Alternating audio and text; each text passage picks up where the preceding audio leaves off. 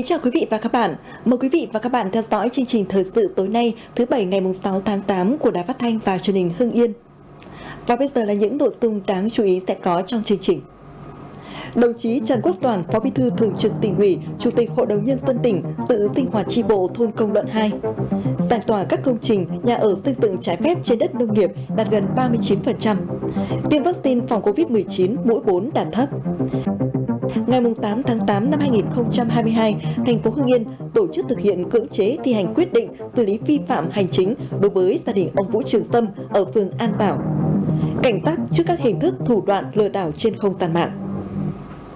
Thưa quý vị và các bạn, chiều ngày 5 tháng 8, đồng chí Trần Quốc Toàn, Phó Bí thư Thường trực tỉnh ủy, Chủ tịch Hội đồng Nhân dân tỉnh đã về sự sinh hoạt tại tri bộ thôn Công Luận 2, thị trấn Văn Giang. Cùng sự có đồng chí Lê Văn Hưng, Ủy viên Ban Thường vụ tỉnh ủy, Bí thư huyện ủy Văn Giang. Tham gia buổi sinh hoạt có 51 đảng viên, nội dung sinh hoạt tập trung việc triển khai thực hiện nghị quyết tháng 8 của Đảng ủy thị trấn Phan Sang, đánh giá kiểm điểm công tác lãnh đạo chỉ đạo của cấp ủy tri bộ trong tháng 7. Các đảng viên đã đóng góp các ý kiến về nhiệm vụ của tri bộ trong tháng 8 năm 2022, tập trung vào việc lãnh đạo, tổ chức đại hội tri bộ nhiệm kỳ 2022-2025 lãnh đạo thực hiện nhiệm vụ phát triển kinh tế xã hội, tuyên truyền vận động nhân dân thực hiện tốt kế hoạch số 93A của Ủy ban nhân dân tỉnh, tuyên truyền vận động nhân dân bàn giao mặt bằng cho doanh nghiệp đảm bảo đúng tiến độ, tiếp tục thực hiện các giải pháp về công tác bảo vệ môi trường. Đồng chí Phó Bí thư Thường trực tỉnh ủy, Chủ tịch Hội đồng nhân dân tỉnh Trần Quốc Toàn ghi nhận sự chuẩn bị các bước, quy trình của buổi sinh hoạt tri bộ theo đúng quy định. Các đảng viên tham gia đóng góp ý kiến với tinh thần dân chủ trách nhiệm cao. Đồng thời thông tin từ các đảng viên về tình hình phát triển kinh tế xã hội của tỉnh từ đầu năm 2022 đến nay. Đồng chí Phó Bí thư Thường trực tỉnh ủy yêu cầu trong thời gian tới, chi bộ thôn tập trung lãnh đạo nhân dân đẩy mạnh phát triển sản xuất, nghiên cứu chuyển đổi mô hình sản xuất để tăng năng suất thu nhập, quan tâm công tác bảo vệ môi trường tự nhiên, thực hiện phân loại rác thải sinh hoạt tại hộ gia đình, tiếp tục tuyên truyền vận động các tầng lớp nhân dân thực hiện tốt các chủ trương, đường lối của Đảng, chính sách pháp luật của nhà nước và các quy định của địa phương, nhất là công tác giải phóng mặt bằng, phục vụ phát triển đô thị, thương mại dịch vụ. Các đảng viên cũng tiếp tục là tuyên truyền vận động trong chi bộ chúng ta thực hiện cái giải phóng mặt bằng, các công trình giao thông, công trình công cộng ở tỉnh quan tâm ở trên địa phương để chúng ta giải phóng mặt bằng để thực hiện các cái công trình công cộng. Trong đó có giao thông có các công trình công cộng khác. Giải phóng mặt bằng thì trên cơ sở là quy định của pháp luật và chính sách của nhà nước. Thì đề nghị huyện là chúng ta tập trung cái này. Tới đây chúng ta là phải giải phóng đường 3,5 cũng báo cáo với đảng viên là Hà Nội là, là cho chúng ta làm đường 3,5 trong đó là Hà Nội làm cầu sang với Ngọc Hồi của Hà Nội. Nếu được cái cầu này thì nghĩ rằng tôi nghĩ là không phải là công luận đâu mà Văn Giang và Hưng Yên chúng ta có tiềm năng phát triển lớn hơn. Nữa là triển khai cái đường vành đai 4 trong đó thì đi qua Văn Giang chúng ta là khá chủ yếu là Văn Giang và Văn Lâm. Do vậy, đây là những công trình trọng điểm quốc gia. Thì cũng mong là từng đảng viên chúng ta rồi đến nhân dân chúng ta là cũng tuyên truyền làm sao để gì? Đồng đồng đồng thuận để chúng ta thực hiện cái cái cái dự án này. Vì dự án này có làm ra thì giá trị về địa, giá trị địa tô của đất này, rồi cũng như là cơ hội để phát triển cho nhân dân chúng ta là rất lớn. Sự nhá. Về công tác xây dựng đảng, đồng chí Phó Bí thư Thường trực tỉnh ủy yêu cầu tri bộ thôn tiếp tục đổi mới phương thức lãnh đạo, tinh hoạt tri bộ, phát huy dân chủ, tinh thần trách nhiệm của cán bộ đảng viên trong xây dựng nghị quyết, bảo đảm lãnh đạo thực hiện thắng lợi các nhiệm vụ chính trị ở địa phương quan tâm chăm lo công tác phát triển đảng viên, tạo nguồn đội ngũ cán bộ đáp ứng yêu cầu nhiệm vụ trong tình hình mới. Đồng chí Phó Bí thư Thường trực tỉnh ủy cũng giải đáp một số ý kiến kiến nghị của đảng viên tại buổi sinh hoạt và yêu cầu lãnh đạo thị trấn Văn Giang và huyện Văn Giang khẩn trương triển khai đáp ứng các nguyện vọng chính đáng của đảng viên và nhân dân. Ngày 5 tháng 8 tại huyện Phù Cử, đồng chí Đặng Ngọc Quỳnh, Ủy viên Ban Thường vụ tỉnh ủy, Phó Chủ tịch Thường trực Ủy ban nhân dân tỉnh đã về trao huy hiệu 70 năm tuổi Đảng cho đảng viên Đặng Văn Nhân, sinh năm 1924, sinh hoạt tại tri bộ thôn Tam Đa, xã Tam Đa và đảng viên Mai Lộc, sinh hoạt tại tri bộ thôn Ba Đông, xã Phan Xào Nam. Đồng chí Đặng Ngọc Quỳnh chúc mừng các đảng viên được nhận huy hiệu đảng và nhấn mạnh đây là niềm vinh dự tự hào là ghi nhận của đảng dành cho các đảng viên có cống hiến nhiều năm với sự nghiệp của cách mạng đảng. Đồng chí cũng chúc đảng viên Đặng Văn Nhân và đảng viên Mai Lộc luôn khỏe mạnh, trường thọ, luôn tiên phong gương mẫu, là tấm gương sáng cho con cháu và các thế hệ đảng viên trẻ noi theo và tiếp tục có những ý kiến đóng góp quý báu trong công tác xây dựng đảng, xây dựng chính quyền, cùng góp sức xây dựng quê hương ngày càng phát triển. Nhân dịp này, đồng chí Đặng Ngọc Quỳnh đã tự sinh hoạt tại tri bộ thôn Ngũ Phúc, xã Tam Đa và tri bộ thôn Ba Đông, xã Phan Xảo Nam. Phát biểu tại buổi sinh hoạt tri bộ, đồng chí Phó Chủ tịch Thường trực Ủy ban nhân dân tỉnh đánh giá cao những nỗ lực của các tri bộ trong công tác lãnh đạo chỉ đạo thực hiện các nhiệm vụ phát triển kinh tế xã hội ở địa phương đồng thời khẳng định buổi sinh hoạt được thực hiện nền nếp chú đáo, các ý kiến phát biểu đều rất trách nhiệm và nội dung bám sát tình hình thực tế của địa phương.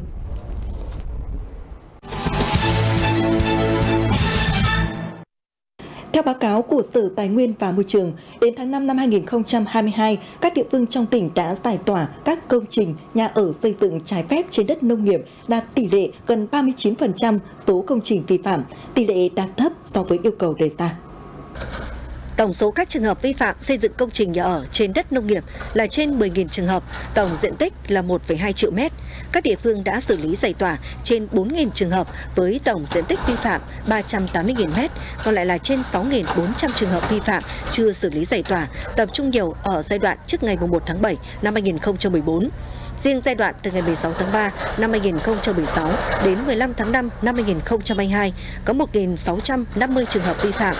Bên cạnh các địa phương tích cực giải tỏa như huyện Khói Châu, Văn Lâm, Ân Thi và thành phố Hưng Yên, các địa phương có tiến độ giải tỏa có tỷ lệ đạt thấp trong các giai đoạn là huyện Tiên Lữ, Kim Động, Yên Mỹ. Ngoài ra, nhiều địa phương chưa quan tâm đến giải tỏa các vi phạm bảo vệ các công trình giao thông thủy lợi. Thưa quý vị và các bạn, ngày 4 tháng 8 năm 2022, Ủy ban nhân dân tỉnh đã có văn bản về việc thực hiện kế hoạch số 93A ngày 31 tháng 3 năm 2017 của Ủy ban nhân dân tỉnh tại các huyện, thị xã thành phố. Văn bản nêu rõ Thời gian qua, các cấp ủy đảng chính quyền của tỉnh đã tập trung lãnh đạo thực hiện tốt công tác tuyên truyền, vận động các hộ gia đình cá nhân giải tỏa vi phạm xây dựng công trình trái phép trên đất nông nghiệp, vi phạm hành lang bảo vệ công trình giao thông thủy lợi và hoạt động bến bãi khai thác cát trái phép theo kế hoạch số 93A ngày 31 tháng 3 năm 2017 của Ủy ban nhân dân tỉnh. Xử lý triệt để các trường hợp tái lấn chiếm, Tuy nhiên, còn một số huyện chưa thực sự quyết liệt trong việc chỉ đạo xử lý giải tỏa vi phạm, kết quả xử lý còn thấp.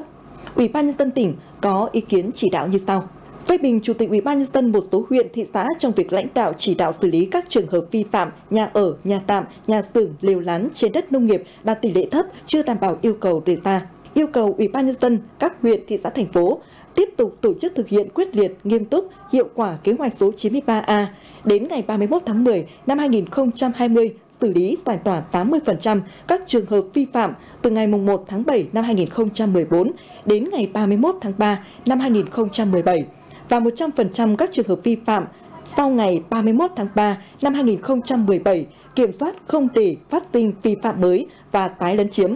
xử lý nghiêm theo quy định của pháp luật đối với các trường hợp tái lấn chiếm, nghiêm khắc xử lý các trường hợp là cán bộ, đảng viên vi phạm, trách nhiệm của người đứng đầu trong việc buông lỏng quản lý để xảy ra vi phạm mới, tái lấn chiếm. Đối với các địa phương để xảy ra nhiều vi phạm mới, tái lấn chiếm, Chủ tịch Ủy ban nhân dân cấp huyện chỉ đạo cơ quan thanh tra, kiểm tra trách nhiệm của Chủ tịch Ủy ban nhân dân cấp xã theo quy định kiểm tra giả soát xử lý đối với các bến bãi hoạt động trái phép chưa hoàn thiện các thủ tục về đầu tư đất đai xây dựng đê điều theo quy định của pháp luật, báo cáo Ủy ban Nhân dân tỉnh các trường hợp vượt thẩm quyền.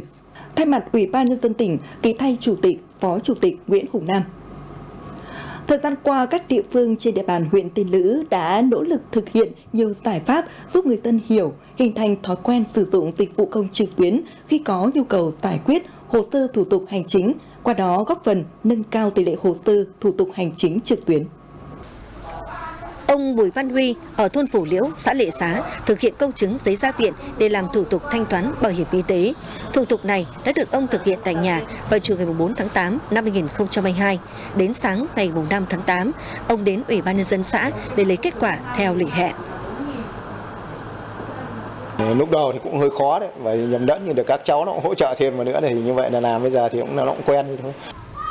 Nhờ chủ động áp dụng nhiều giải pháp như kiên trì tuyên truyền, hướng dẫn người dân các thao tác tự nhập thông tin lên hệ thống, chụp ảnh các giấy tờ liên quan và thao tác trên điện thoại thông minh, nên trong 7 tháng đầu năm, xã Lệ Xá đã tiếp nhận và xử lý hơn 650 hồ sơ thủ tục hành chính trực tuyến, chiếm gần 30% tổng số hồ sơ. Chúng tôi ý thức được cái trách nhiệm của chúng tôi trong cái công tác cải cách hành chính, tăng cường công tác tuyên truyền để người dân biết được là cái hiệu quả của cái việc mà người ta thực hiện công việc trên môi trường mạng như thế nào. Tôi thành lập các cái tổ hướng dẫn đối với người dân ở các thôn. Xong cái đó bên cạnh đó là một cái công tác là tuyên truyền trên hệ thống truyền thanh và lồng ghép đối với các đoàn thể khi hoặc triển khai cái công tác là thực hiện cái dịch vụ công để trong cái việc làm sao là rút ngắn và trả kết quả sớm nhất cho người dân.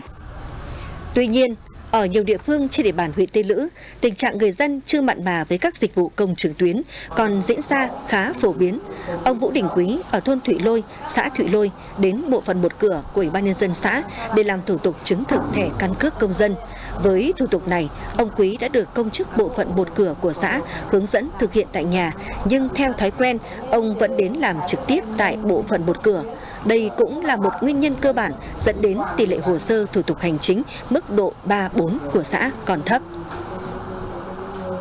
Tôi ở nhà cũng làm được, nhưng mà một công đôi việc tôi cũng đến đây để mà làm cho nó nhanh và chắc chắn hơn. Chúng tôi cũng đã tổ chức được tập huấn, tổ chức tuyên truyền đến mọi người dân, đến mọi tầng lớp nhân dân. Với số lượng người dân tiếp cận được cái nội dung này vẫn còn thấp. Cái nhóm đối tượng mà đi làm hồ sơ thì cơ bản là những người già. Trong thời gian tới là chúng tôi tiếp tục tổ chức tuyên truyền vận động nhân dân là có cái cơ hội để tiếp cận thông tin. Thế còn đối với cán bộ chúng tôi là khi người ta đến thì chúng tôi sẽ tổ chức tuyên truyền trực tiếp, hướng dẫn trực tiếp để lần sau người ta có thể làm ngay tại nhà. 7 tháng đầu năm 2022, các xã trên địa bàn huyện Tiên Lữ đã tiếp nhận và giải quyết hơn 3.300 hồ sơ trực tuyến, chiếm trên 20% tổng số hồ sơ. Đây là huyện có kết quả thực hiện dịch vụ công trực tuyến cấp xã thuộc tốt khá của tỉnh. Tuy nhiên, để đạt được mục tiêu đến hết năm 2022, 50% hồ sơ thủ tục hành chính được xử lý trực tuyến vẫn cần sự vào cuộc tích cực của cả hệ thống chính quyền cơ sở trong việc nâng cao nhận thức của người dân về sử dụng dịch vụ công trực tuyến. Theo kết quả giả soát từ các địa phương, hiện tỷ lệ tiêm vaccine phòng COVID-19 mũi nhắc lại lần 2, tức mũi 4 ở Hưng Yên mới đạt trên 17%. Với trên 930.000 người từ 18 tuổi trở lên, tỷ lệ tiêm mũi 3 đạt trên 96%, mũi 4 đạt trên 17%. Các địa phương có tỷ lệ tiêm mũi 4 dưới 10% là thị xã Mỹ Hào, huyện Ân Thi, Văn Lâm, cao nhất là huyện Văn Giang và Khói Châu. Còn với trên 100.000 người từ 12 tuổi đến dưới 18 tuổi, tỷ lệ tiêm mũi 3 đạt gần 33%, trong đó thấp nhất là thị xã Mỹ Hào và huyện Yên Mỹ, cao nhất là huyện Phù Cử đạt trên 77%. Đối với trên 145.000 trẻ từ 5 đến dưới 12 tuổi, tỷ lệ tiêm mũi 1 đạt trên 63%, mũi 2 đạt gần 27%. Hiện toàn tỉnh đang triển khai tiêm trên 80.000 liều vaccine Pfizer mới được phân bổ, trong đó tập trung tiêm trên 50.000 liều cho trẻ em từ 5 đến dưới 12 tuổi để sẵn sàng cho năm học mới. Đến nay, toàn tỉnh Hưng Yên tiêm được tổng số trên 3 triệu liều vaccine phòng COVID-19, tất cả đều đảm bảo an toàn, không có trường hợp phản ứng nặng sau tiêm.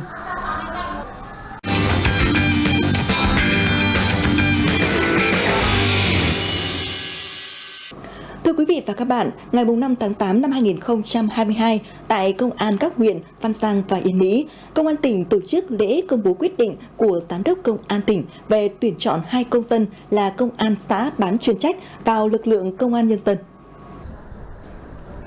Qua quá trình tuyển chọn khách quan, minh bạch, Công an tỉnh đã báo cáo và được Bộ Công an duyệt tuyển chọn hai công dân vào Công an Nhân dân gồm Lê Đức Quỳnh sinh năm 1990, trú tại xã Xuân Quan, huyện Văn Giang, nguyên Phó trưởng Công an xã Xuân Quan,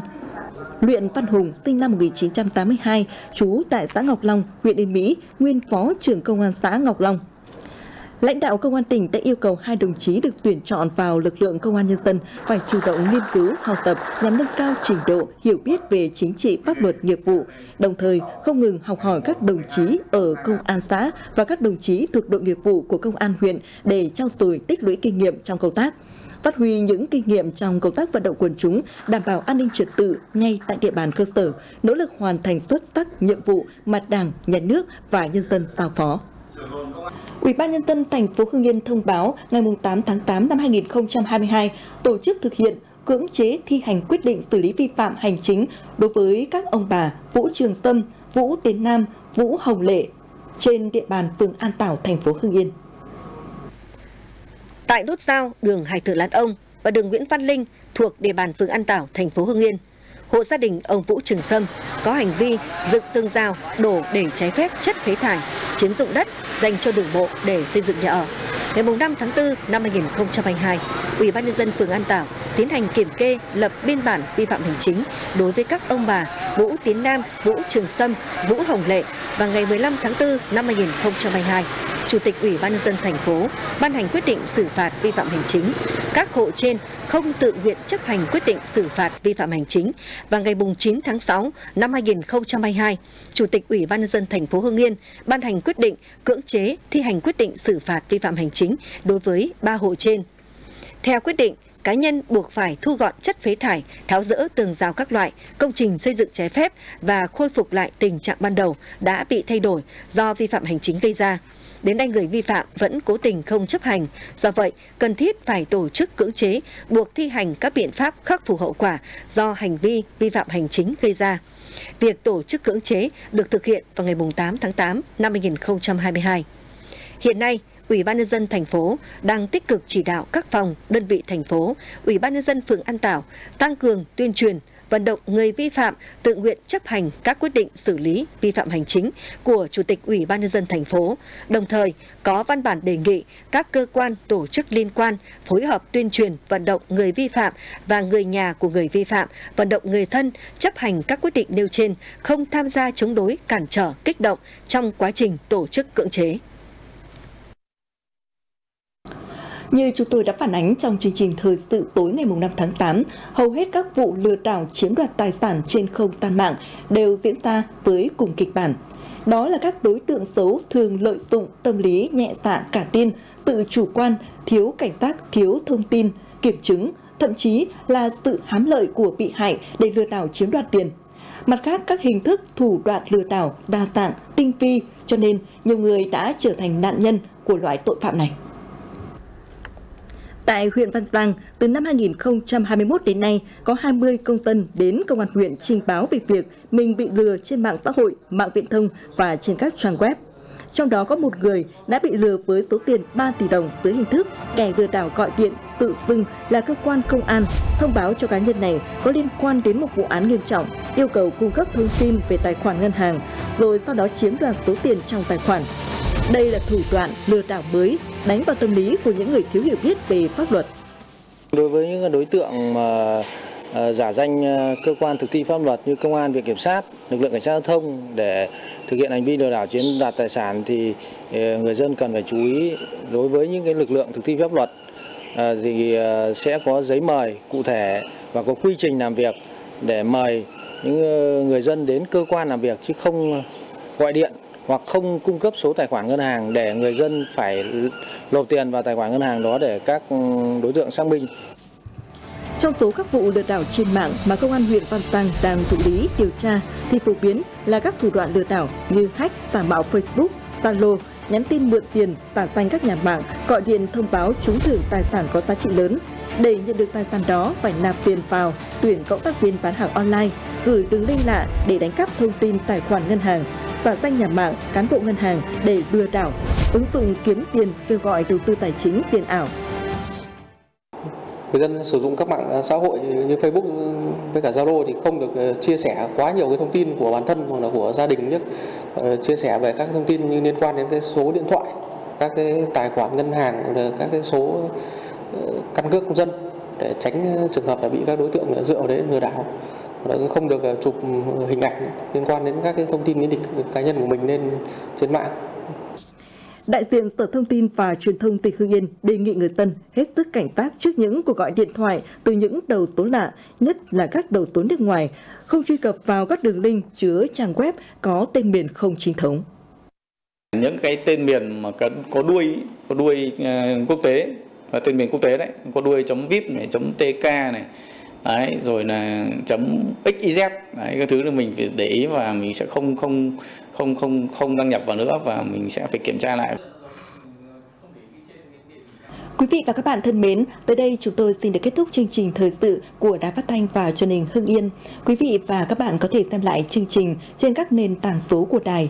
như ứng dụng di động Hưng Yên TV Go trên website tại địa chỉ hưng yên tv.vn, trang fanpage tin tức Hưng Yên 24 trên 7 HITV hay kênh YouTube truyền hình Hưng Yên HITV.